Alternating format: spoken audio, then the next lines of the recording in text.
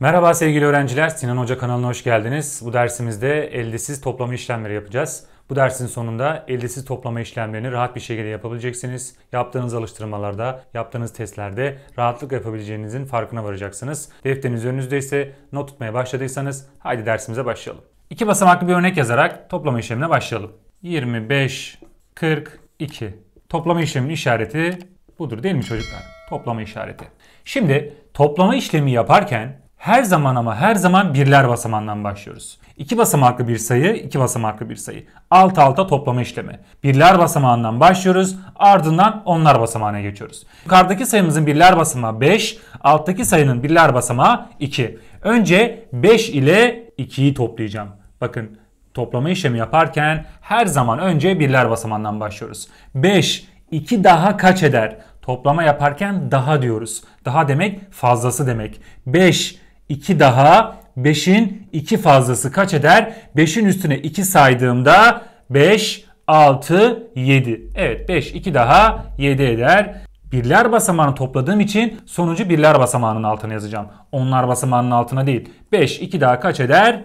7. Birler basamağını topladıktan sonra onlar basamağına geçiyoruz. Yukarıdaki sayının onlar basamağı 2, alttaki sayının 4. 2, 4 daha kaç eder diyeceğiz değil mi? Şöyle de diyebiliriz. 2'ye 4 de ekleyebilirsiniz, 4'e 2 de ekleyebilirsiniz. Büyük sayıya küçüğü eklerseniz eklemeniz daha kısa sürecektir. 4'e 2 ekleyelim. 4, 5, 6. Evet 4, 2 daha 6 eder. Cevabımız 67. Diğer bir örneğimize geçelim. 3 basamaklı bir sayı olsun. 300 54 435. Toplayalım. Toplama işleminin işaretini koyduk. Evet bu tarafa değil. Bu tarafa koyuyoruz değil mi çocuklar? 354 artı 435. 3 basamaklı, 3 basamaklı bir sayı. Birler basamağından başladık değil mi çocuklar toplamaya? Birler basamağı, ardından onlar basamağı, ardından yüzler basamağını toplayıp işlemimizi bitireceğiz. Şimdi yukarıdaki sayının birler basamağı 4, alttaki sayının birler basamağı 5. 4'e 5 ekleyeceğiz veya 5'e 4 ekleyeceğiz fark etmiyor. Toplama işleminde yukarıdaki sayıdan da başlayabilirsiniz. Aşağıdaki sayıdan da başlayabilirsiniz. Yani 4'e 5 de eklerseniz 9 eder. 5'e 4 de eklerseniz 9 eder. Yerleri değiştirme işlemin sonucu fark etmiyor. Bu toplama işleminde, çıkarma işleminde işlem farklı. Tamam. Büyük olan sayı küçük olan sayıyı ekleyelim. 5'e 4 ekleyeceğiz. 5, 6, 7, 8, 9. Bakın 4 ekledim. 5, 4 daha kaç edermiş? 9. Birler basamağını topladığım için sonucu birler basamağının altına yazıyorum. Birler basamağını hallettiysek onlar basamağına geçelim. 5, 3. 5'e 3 ekleyeceğim değil mi? Bakın çocuklar 5 ile 4'ü değil, 5 ile 5'i değil. 5 ile altındaki sayıyı toplayacaksınız. Direkt altındaki veya üstündeki sayıları topluyoruz. 5, 3 daha kaç eder? Büyük sayıya küçüğü ekleyelim. 5, 6, 7, 8. Evet 5, 3 daha 8 edermiş. Sonucu da direkt topladığım basamağın altına yazıyorum. Onlar basamağını hallettiysek yüzler basamağına geçiyoruz. 3, 4 daha kaç eder? Veya 4'e 3 eklersek kaç eder? Büyük sayıya küçüğü ekleyelim. 4, 5, 6, 7. 4, 3 daha kaç edermiş? 7. Cevabımız 789. Anladıysanız diğer örneğimize geçelim. Bu örneğimizde 4 basamaklı olsun. 3204 2174. Toplayalım bunları. Toplama işleminin işaretini her zaman sola koyuyoruz değil mi? Sağ tarafa buraya değil. Buraya koyarsanız yanlış olur.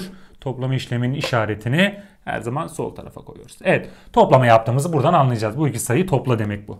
Başlayalım. 4 basamaklı da olsa fark etmiyor. Toplama işlemine her zaman birler basamağından başlanır ve diğer basamaklardan devam edilir. Onlar, yüzler, binler en sonki basamak toplandı mı bizim toplama işlemimiz bitmiş olur.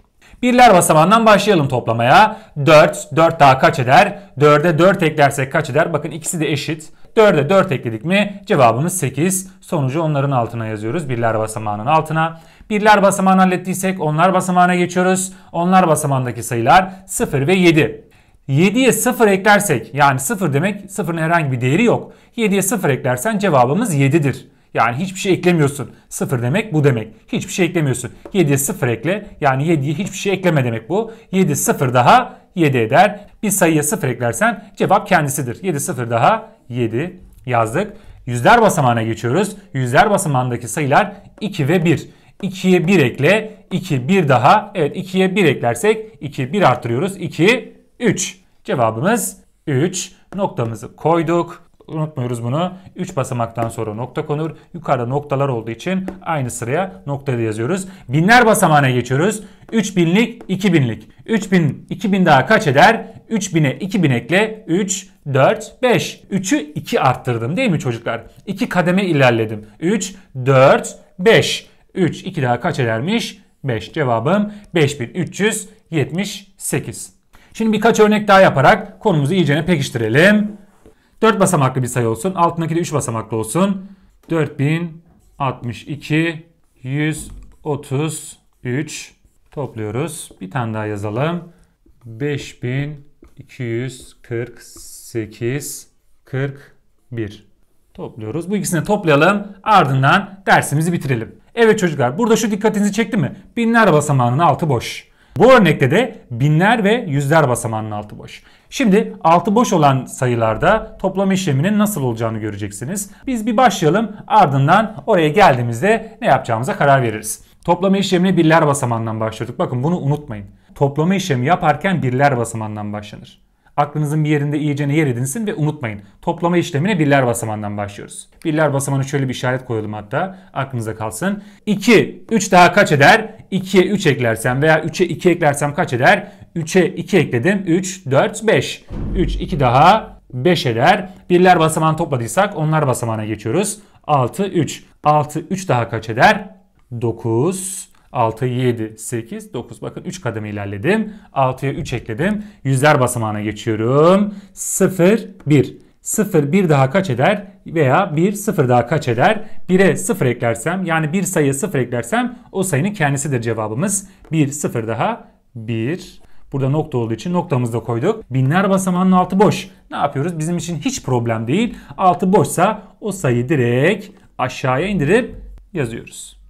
Herhangi bir toplama yapmıyoruz. Altı boş olduğu için gelip 4'ü 1 ile toplayamam. 3 ile toplayamam. Buradan bir sayı seçip toplayamam. Altında herhangi bir sayı olsaydı onunla toplayacaktım. Boş olduğu için toplamadan direkt aşağıya indiriyoruz. Cevabımız 4195. Bunu anladıysanız diğer örneğimize geçelim.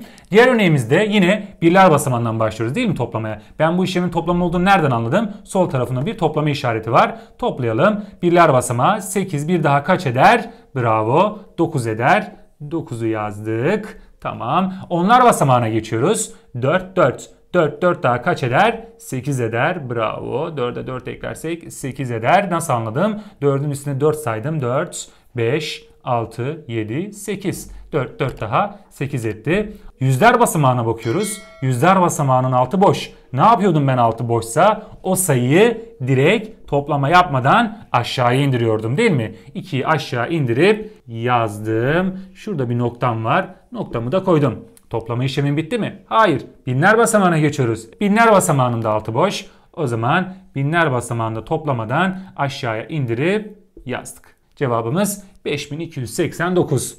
Toplama işleminde yukarıdaki sayıların altı boşsa ben o sayıları direkt işlem yapmadan aşağıya yazıyorum. Herhangi biriyle toplama yapmıyorum. Sakın altı boşsa direkt indiriyorsunuz. Evet çocuklar eldesiz toplama bu kadar basit. Alt alta olan sayıları yazıp sonucu onların altını yazıyoruz.